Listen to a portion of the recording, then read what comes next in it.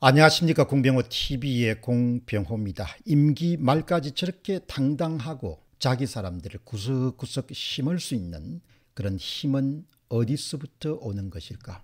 역대 정부의 임기 말기는 마치 깊어가는 가을역처럼 쓸쓸함과 함께 했는데 문 대통령과 문 정권의 그런 임기 말의 행보는 거침이 없습니다. 그만큼 문재인 정권 이후에 등장하는 문재인 시즌2의 출범을 확신하고 있기 때문일 것입니다. 4.15 청순의 부정선거 시비로 그 많은 비난을 받았던 조혜주 선관위 상임위원은 또다시 비상근 상임위원으로 임명할 가능성이 높다는 그런 소식이 들리고 있습니다. 어쩌면 저들은 그렇게 국민들의 아우성을 완전히 깔아뭉갤 수 있을까? 아마도 그것은 어떤 상황에서도 자신들이 선거에서 이길 수 있다고 확신하기 때문일 것입니다. 그러니까 어떤 상황이 전개되더라도 자신들이 이길 수 있는 선거 결과를 만들어낼 수 있다고 자신하고 있기 때문일 것입니다. 야당과 언론이 철저하게 부정선거에 함구한 대가 가운데 하나가 국민 여론과 국민의 열망에 관계없이 바로 여당은 자신들이 하고 싶은 대로 그냥 밀어붙이는 겁니다. 국민이든 야당이든 투명 인간이나 투명 단체 정도로 그냥 간주하는 것입니다. 야당이 함구하고 언론이 함구하지만 일반 국민들 가운데 깨어있는 시민들은 이 나라에서 선거의 공정성은 회복하기 힘들 정도로 훼손되고 말았다는 사실을 정확하게 직시하고 있습니다. 조선일보의 관련 기사를 보고 그러니까 조혜주 상임위원을 비상임 선거관리위원으로 이렇게 임명한다는 그런 보도를 보고 130여 명의 시민이 의견을 남겼습니다. 제목은 친여 조혜주 선관위원 문재인 사표 반려로 임기 3년 연장한다 이런 기사를 보고 어느 언론도 어느 야당 인사도 입에 올리기를 거부하는 주장을 일반 국민들이 하고 있습니다. 민초들은 많은 것을 알고 있다는 것입니다. 야당과 언론들이 몸을 사리고 있는 동안 민초들은 이 나라가 지금 어떤 상황에 처해 있는지 특히 선거가 지금 어떤 상황에 처해 있는지를 어느 누구보다도 잘 알고 있는 겁니다. 시민 강래성 씨는 이렇게 주장합니다. 이런 시기니 공정선거가 이 나라에서 보장될 수 있겠습니까? 여기서 이런 식이란 것은 조혜주를 상임위원회에서 다시 비상임 선관위원으로 3년 더 임명하는 것입니다. 관리를 깨고 공정선거가 이 나라에서 보장될 수 있겠습니까? 무려 찬성이 785명입니다. 반대가 4명입니다. 시민들은 다 알고 있다는 겁니다. 얼마만큼 이 나라에서 공정선거가 불가능하게 돼버린지를. 주동식 님입니다. 이 사람은 부정선거를 방조한 사람인데 다시 비상근 선관위원회 임명한다고요. 정말 납득이 가지 않습니다.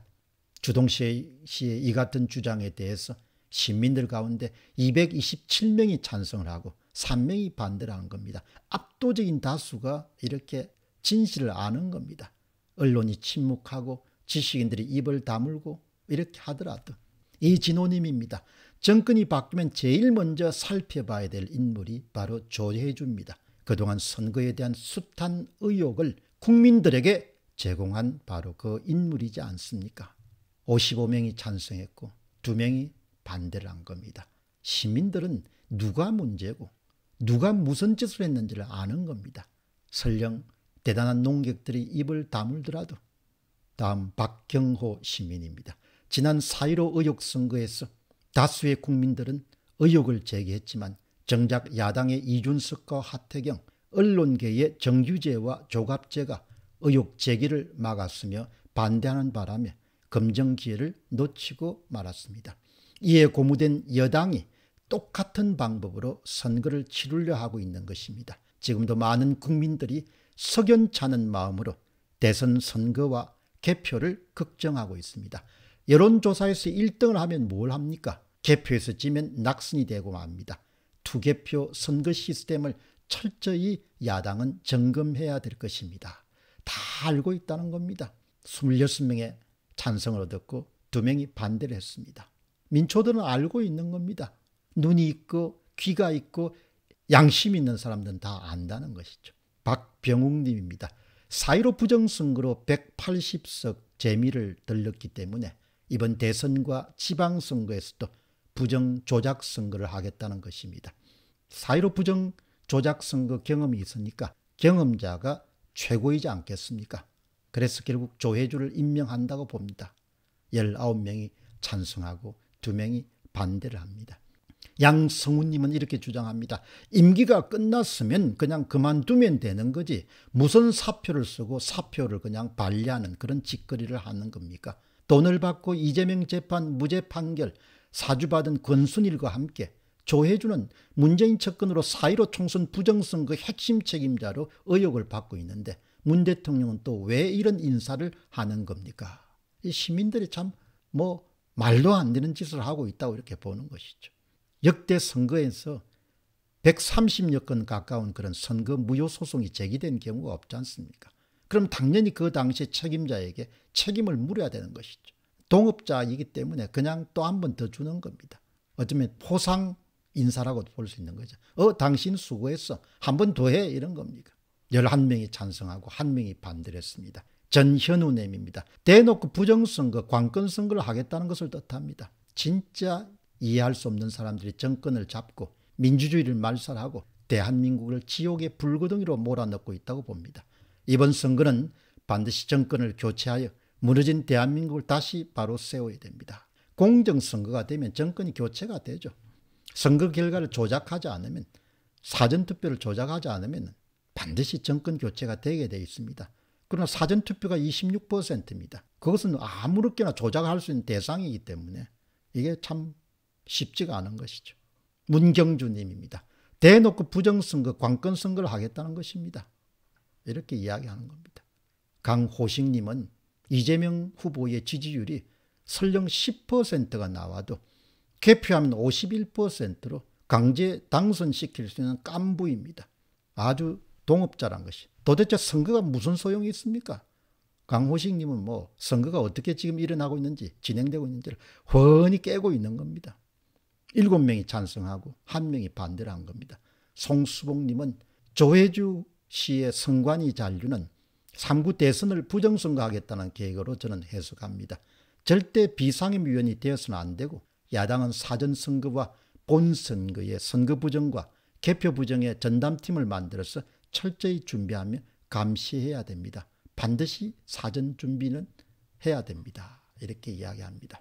한편 서정호님은 좀 더 넓은 시각으로 이야기합니다. 관건 선거를 획책하는 것은 바로 독재자의 꼼수가 아니겠습니까? 지금 행정부가 총동원돼서 여당 후보를 지지하는 판인데 심판까지 자기 편을 그대로 쓰겠다고 하니까 이것은 바로 독재 정권이 아니고 뭐가 있습니까? 이렇게 콕 집어서 이야기를 합니다. 어쨌든 자유민주주의란 것은 헌법에 기술된 것처럼 외관만이 그런 것이 아니고 정말 선거의 중립과 동시에 상권 분립이 작동돼서 견제 기능이 작동돼야 그때 비로소 우리가 민주주의 체제다 이렇게 볼 수 있는 것이죠. 그렇기 때문에 이 선거가 무너지게 되면은 국민의 그런 의사에 따라서 정권 교체 자체가 불가능해지기 때문에 이것은 곧바로 독재 정권을 뜻하는 겁니다. 전체주의가 된 것을 뜻하는 겁니다. 조혜주 사건이 보통 심각한 문제가 아님을 우리가 주목하게 되는 것은 이것이 곧바로 선거의 투명성과 정직성을 정면으로 위반하는 그런 조치이기 때문입니다. 책임을 물어야 될 당사자가 포상 인사를 인해 가지고 한 번 더 하는 겁니다. 조혜주 씨처럼 상임위원을 맡고 있는 사이에 이렇게 많은 선거 무효 소송이 제기된 경우가 한국 역사상 선거 역사상 한 번도 없었습니다. 재검표를 할 때마다 가짜 투표지가 수없이 쏟아져 나왔습니다. 이런 상황을 만든 책임자를 비상임 선관위원으로 임명한다는 것은 그 문 대통령의 정신세계도 전혀 이해를 할 수 없는 것이죠. 책임을 물어야 될 사람에게 부정선거 책임을 물어야 될 사람에게 부정선거 한 번 더 잘 해보시오 라고 그렇게 선관위에 임명하는 것으로 그렇게 많은 사람들이 받아들이는 겁니다. 정말 말도 되지 않는 그런 일들이 대한민국에서 일어나고 있는 겁니다. 공병호 TV의 공병호였습니다. 감사합니다.